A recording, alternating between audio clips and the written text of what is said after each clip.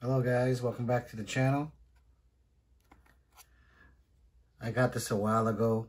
I opened it on uh, Instagram already, but I've never opened it since I had this YouTube channel. So I figured uh, I'd crack it open uh, and show you guys. This is a Sparky model. Sparky or Spark model.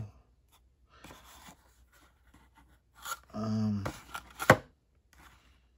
I got a couple of these, a red and a white, and then this uh, Falken livery one. So we'll check it out. Um, I really, really like the way they do the, the box. Um, give me a sec, sorry guys.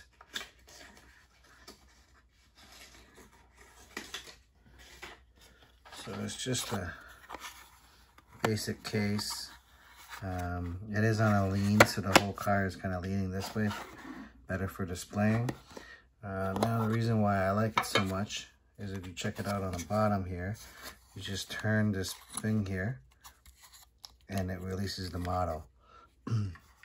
Unlike other ones where they, uh, where you uh, have to unscrew it. So, this one you don't have to do that. Um, the wheels don't move at all. That's all right.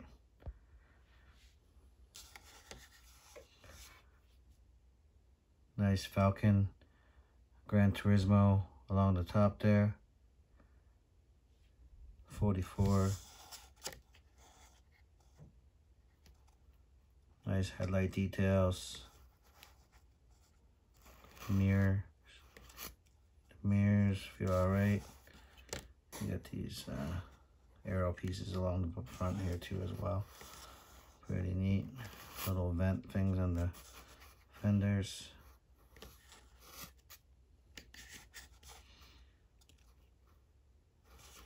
Big, big Falken on the spoiler there. You can see the roll cage, the white roll cage with the race seat. One race seat. Pretty sweet. Alright, so I also have this Team Transport with the Falken livery on it. And I figured it'd probably look pretty cool with it, which it does. It actually matches perfectly. Yeah, pretty perfect. It looks better than the than that Mercedes that it comes with. And the Mercedes actually looks pretty good too as well. This would be a pretty good set. I like it. I wonder if this thing can fit with the big wing on it. Oh yeah, it does. All right. So there's some rolls, so there you go, guys. Pretty short video today. Just wanted to show you guys this cool Porsche. Oh, the rims look real good too. Forgot to mention that. And we'll have a look at the base while we're at it. So pretty simple base, uh, which is fine for me. I don't mind. But yeah. Alright guys. Thank you for watching. I will catch you guys in the next video.